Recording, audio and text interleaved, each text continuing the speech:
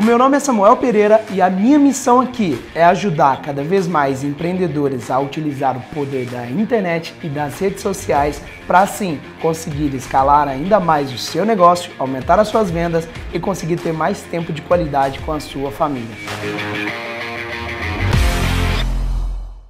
Olha, a melhor fonte de tráfego é aonde o seu público-alvo está. Esse é o ponto, né?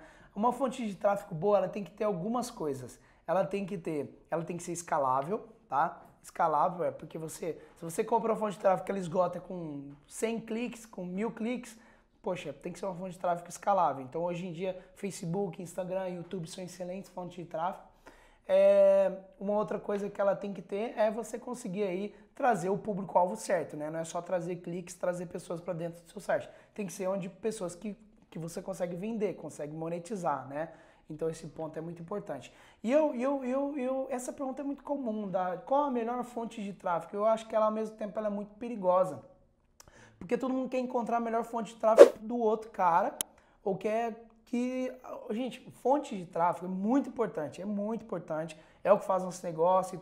Não, não é o que faz nosso negócio, é o que traz pessoas para o nosso negócio, mas não é o que faz nosso negócio.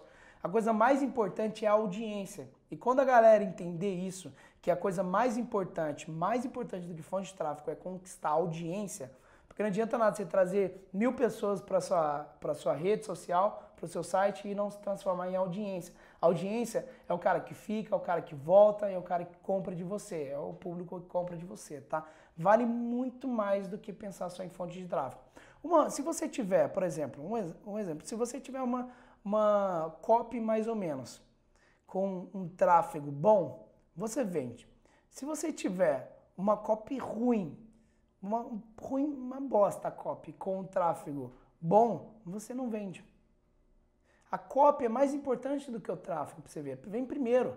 Então, assim, eu acho que tem que inverter um pouco mais essa pergunta, tá? Preocupar mais em audiência, como conquistar audiência e tal. E a fonte de tráfego, melhor fonte de tráfego para cada negócio vai ter uma. As maiores hoje, as melhores que eu posso falar, tem sido ah, para a gente principalmente Instagram e YouTube, tá? São duas fontes de tráfego incríveis hoje que mais performam. A gente tem várias fontes, desde blog até ah, LinkedIn gera um pouco para a gente também, mas enfim, né? Desde YouTube, mas é, Google, né?